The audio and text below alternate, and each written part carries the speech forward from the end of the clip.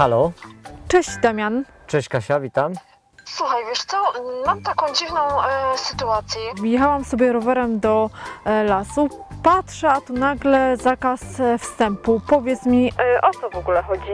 Wiesz co, przyczyn e, zakazu wjazdu może być wiele, ale jeśli chcesz, możemy się spotkać i wtedy wyjaśnię Ci o co może chodzić akurat w tym miejscu.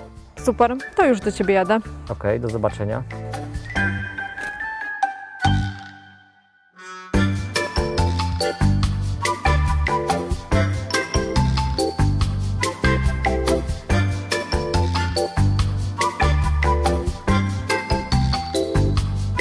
Kasia. Cześć, słuchaj, taka sytuacja. E, Jechałam sobie rowerem przez las. Jadę, wszystko pięknie, a tu nagle znak, zakaz wjazdu do lasu, jakieś zamieszanie z tyłu. Powiedz mi, o co chodzi?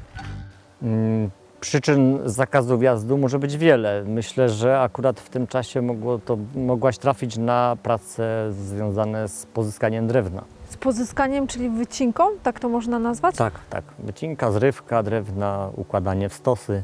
Czyli de facto w tym czasie do lasu i w tym miejscu wjechać nie można. Tak, w tym miejscu jest zakaz przebywania osób postronnych mm, ze względu na ich bezpieczeństwo. No właśnie, co by mogło mi się stać, gdybym jednak tam wjechała? Co, co na mnie czeka? Jakieś maszyny, czy piły tam są używane? Jak to wygląda?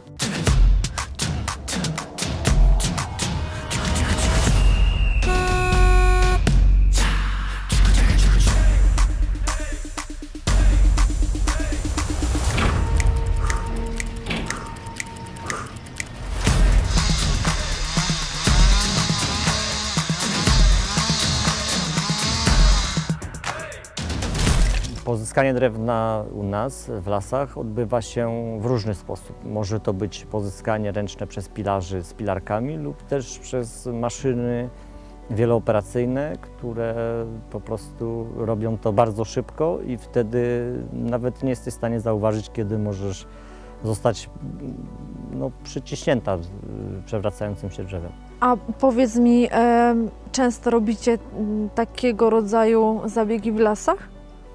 Można by powiedzieć, że cały czas.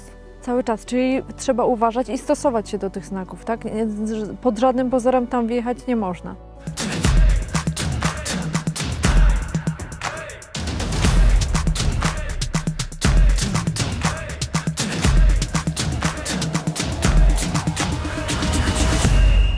Y, Znaki te obowiązują tak samo jak na drogach publicznych. Jeżeli jest zakaz wjazdu, to po prostu nie wjeżdżamy.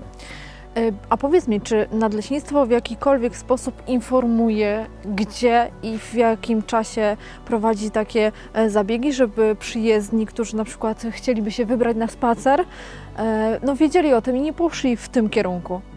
Nie, miejsca te są po prostu oznakowane na czas tych prac. Jest na tablicy jasno napisane z jakiego powodu jest zakaz i jak długo będzie obowiązywał. Czyli drodzy Państwo, jedyne co możemy zrobić widząc taki znak, to po prostu zawrócić.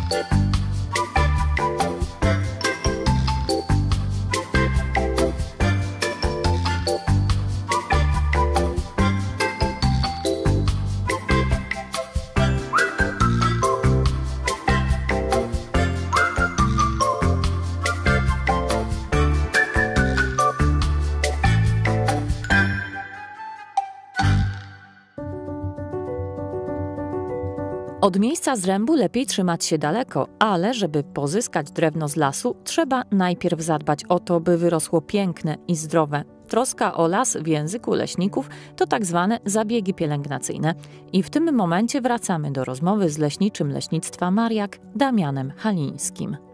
Damian, powiedz mi, zrąb e, to jedno, wycinka to jedno, ale robicie też różne rzeczy, żeby ten las móc wyciąć, tak? Mhm. No przede wszystkim musimy go wyhodować, więc y, po nowo założonej uprawie przychodzi zawsze czas na pielęgnację, czyli e, odsłanianie tych drzew, które posadziliśmy, żeby miały jak najlepsze warunki do wzrostu. Odsłanianie, czyli trzeba coś tam wyciąć między nimi, no tak? Mówiąc najprościej, jest to koszenie chwastów, tak jak w ogródku. Więc kosimy te chwasty, które po prostu wyrastają ponad nasze y, drzewka, które no, są przyszłością tej uprawy i będą kiedyś dorosłym drzewostanem. Jak się odchwaszcza las? Tu nie pomogą zwykłe narzędzia ogrodnicze.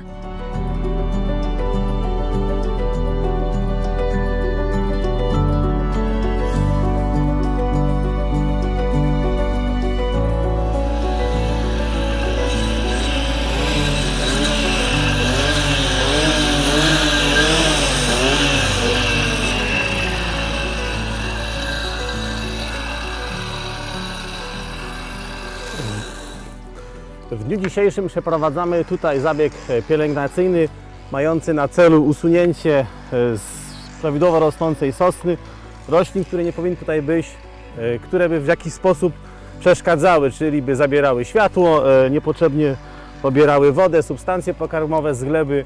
Zostaje brzoza, zostaje sosna, usuwamy brzozę, paproć, wszelkie rodzaje traw, odrośli, po prostu żeby ta sosna mogła rosnąć i w miarę możliwości wyrosnąć na piękny las.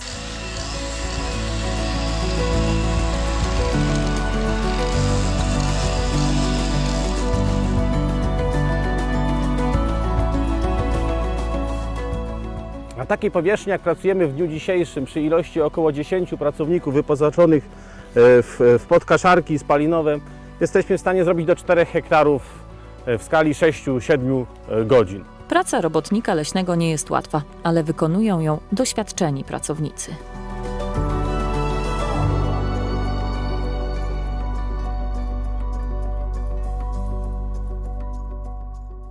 Damian, czy zabiegi pielęgnacyjne się od siebie różnią, czy robicie zawsze to samo? Nie zawsze. Zwykle wygląda to tak, że w tym pierwszym y, stadium rozwoju młodego drzewostanu, czyli tej świeżo założonej uprawy, kosimy, więc jest to powiedzmy zabieg pielęgnacją gleby nazywany. Y, Następnie y, wchodzimy z zabiegiem, który nazywa się czyszczenie wczesne.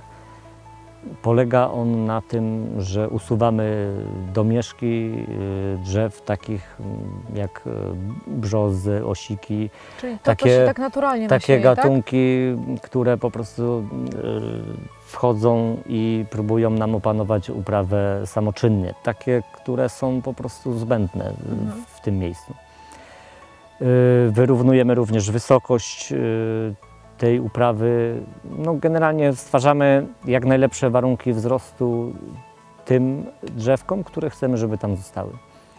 Kolejnym zabiegiem już później jest y, czyszczenie późne i tam w momencie, kiedy młodnik ma już y, dosyć silne zwarcie, rozrzedzamy go delikatnie, wyrównując wysokości, usuwamy przerosty, drzewa wadliwe, takie, które Czyli chodzi o to, żeby te, które są najsilniej, najsilniejsze, e, no, miały jeszcze lepsze warunki, tak?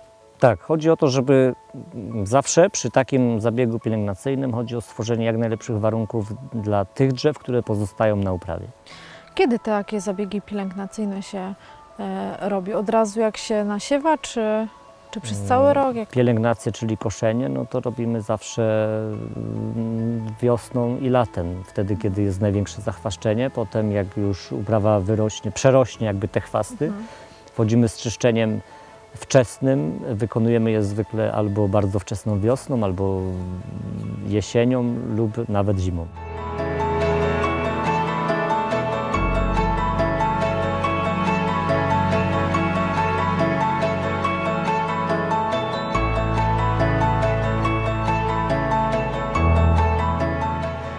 Zabiegi pielęgnacyjne macie swoje sposoby, na komary, bo nas zaraz zjedzą, Najlepiej polubić.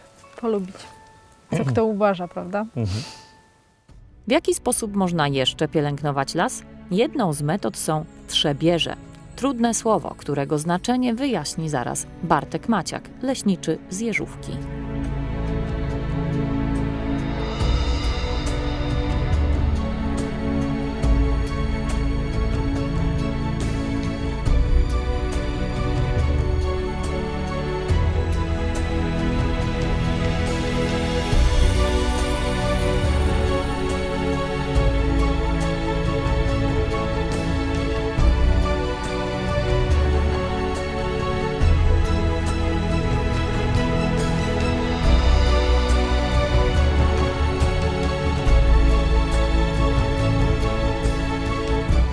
Bartek, nie ukrywam, że podczas kręcenia dzisiejszego odcinka spotykają mnie same niespodzianki.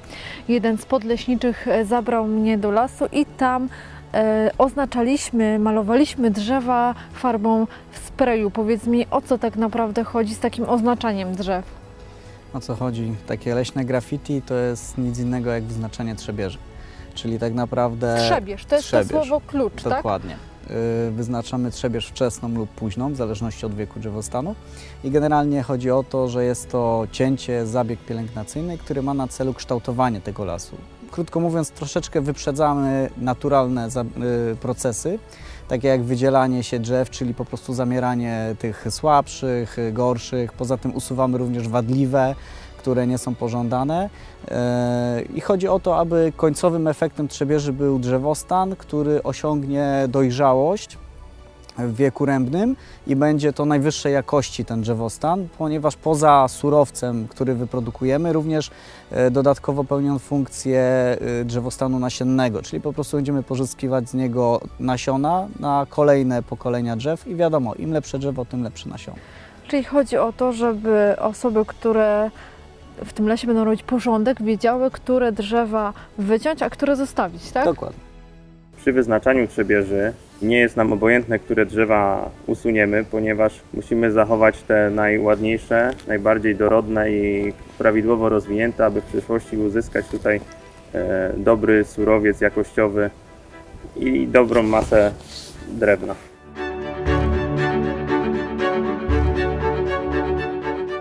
Leśnicy kierują się oznaczając takie drzewa? Tu pomocna okazuje się klasyfikacja Krafta, która na podstawie budowy korony i wysokości dzieli drzewostan na panujący i podrzędny.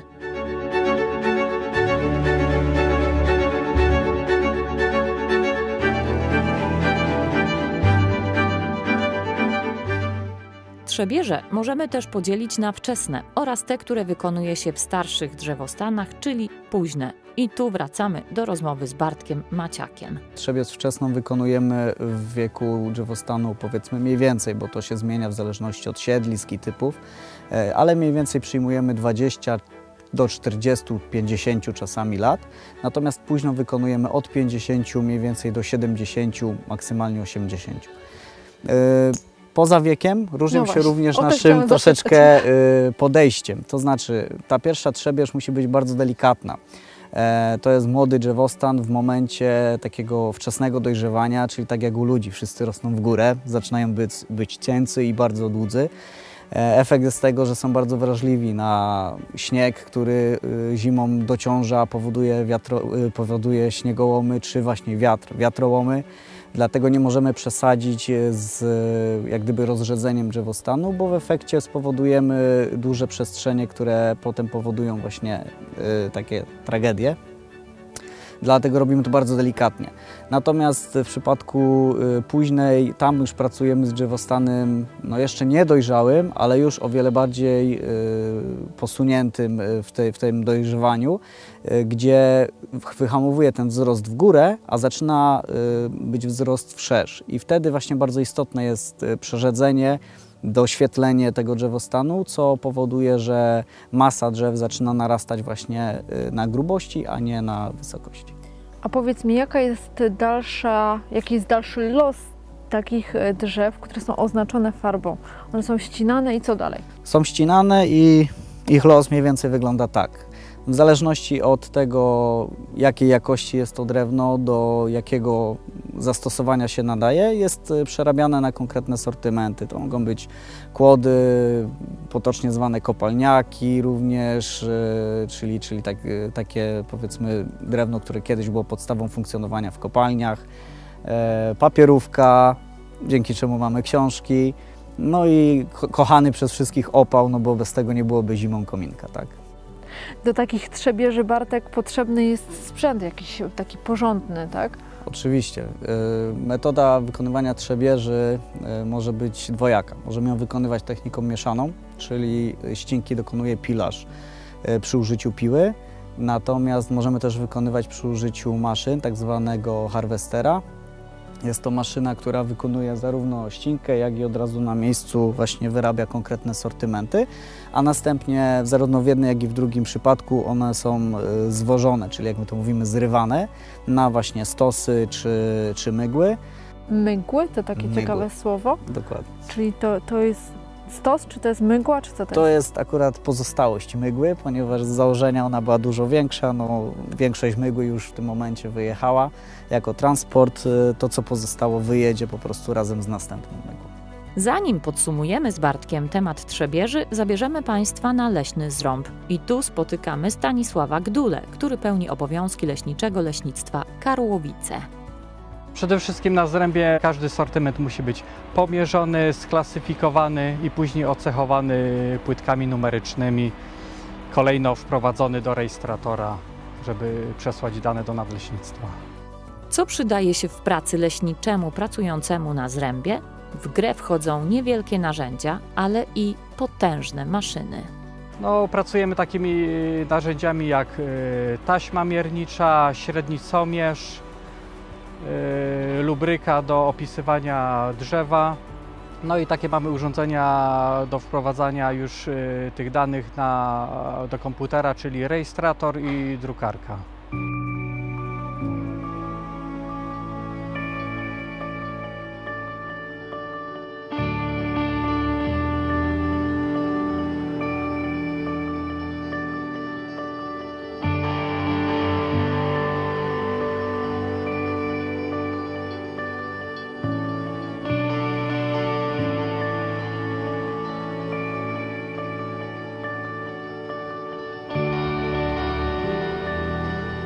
Teraz razem z leśniczym przechodzimy do sposobów prowadzenia cięć w drzewostanach dojrzałych do wyrębu, czyli do tak zwanych rębni.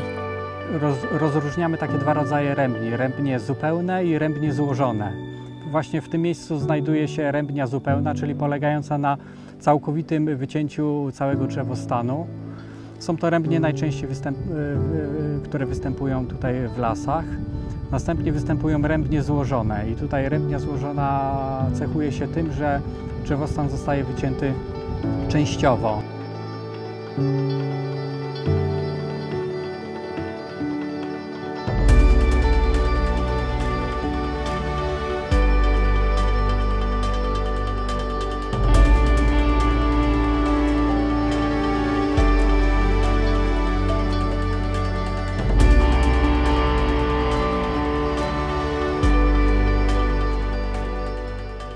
Każdej rębni, nawet w rębniach zupełnych, y, zawsze zostawiamy jakiś fragment drzewostanu. Na przykład są to y, te takie częściej y, strefy ekologiczne, y, 5% i, i, ten fragment drzewostanu zawsze zostaje na powierzchni. Zostawiamy też na przykład, jeżeli są to drzewa dziuplaste, zostawiamy takie kępy ekologiczne i, i tam po, pozostawiamy jeszcze dodatkowe wokół tego osłaniające drzewa. Skąd leśniczy wie, jaką część lasu można wyciąć? Wszystko zapisane jest w specjalnej książce. My się opieramy tutaj na takim operacie urządzenia lasu, który jest sporządzany tutaj przez e, Biuro Urządzania Lasu, zlecane zresztą przez Lasy Państwowe i zatwierdzane przez ministra środowiska. I na podstawie właśnie tego operatu tutaj są wszelkiego rodzaju zapiski, opis taksacyjny drzewostanu i na podstawie tego po prostu tutaj planujemy, jaki, jaki drzewostan może być wykonywana rębnia. Nadszedł czas na obiecany wcześniej epilog odcinka, a w roli głównej Bartek Maciak. Jeszcze jedna sprawa, Bartek, zdarzają się kradzieże takiego drewna ułożonego w stosy? E, Zdarzają się, aczkolwiek e, ze względu na to, że w dzisiejszych czasach coraz większe pozyskanie jest maszynowe, e, co również wymusiło w pewnym sensie zmianę sortymentów.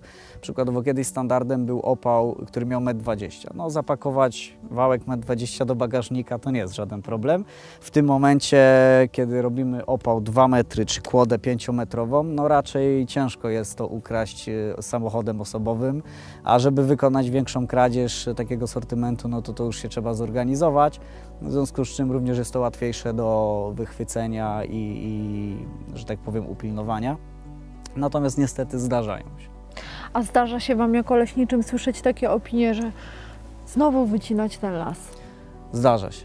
I to bardzo często, nawet właśnie w miejscu, w którym siedzimy, e, gdzie rosną piękne jagody, akurat moment tej trzebieży przypadł na moment zbierania jagód i panie, które zbierały jagody bardzo płakały nad tym, że tu już nie będzie tego lasu, nie będzie tych jagód, no ale po dłuższej rozmowie dały sobie wytłumaczyć, że to jest po prostu las jednak tylko... będzie? Tak, to jest etap trzebieży. W przyszłym roku nie będzie śladu po tym, że tutaj coś robiliśmy i jagody jak były, tak będą, więc nie ma się czego niepokoić. Jagody będą i drzewa też tak jak były będą.